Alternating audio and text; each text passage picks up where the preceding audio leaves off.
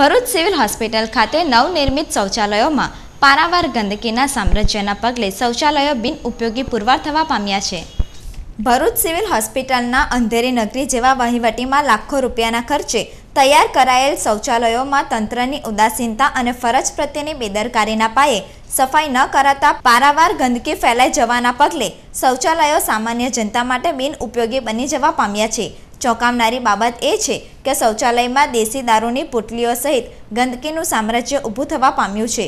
પરંતુ સિવિલ હોસ્પિટલના એક પણ જવાબદાર અધિકારીનું આ તરફ ધ્યાન સુદ્ધા કેન્દ્રિત થવા પામ્યું નથી. સિવિલ હોસ્પિટલમાં સફાઈ કામદારો પણ અધિકારીઓના દુર્લક્ષ વ્યવહારના પગલે પોતાની મનમાની કરતા હોય તેમ સફાઈ ન કરતા અંતે સામાન્ય પ્રજા શૌચાલયની સુવિધાથી વંચિત રહેવા પામી છે. ભરૂચ સિવિલ હોસ્પિટલની આવું દશા આપ જોઈ રહ્યા છો. ભરૂચ સિવિલ હોસ્પિટલના લેડીઝ અને જેન્ટ્સ ટોયલેટ છે.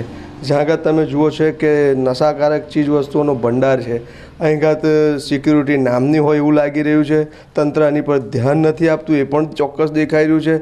જ્યારે સરકાર નશાબંધીનો દોર ચાલુ કરી, કરેલો હોય, ત્યારે તમે જોઈ રહ્યા છો કે ભરૂચ સિવિલ હોસ્પિટલની અંદર જ ઢગલે બંધ નશાકારક ચીજવસ્તુઓ પડેલી છે.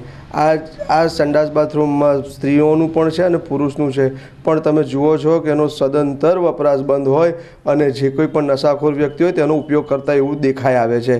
તો ખરેખર તંત્રનું આની પર ધ્યાન નથી. સ્વચ્છતાના નામે મીંડું છે.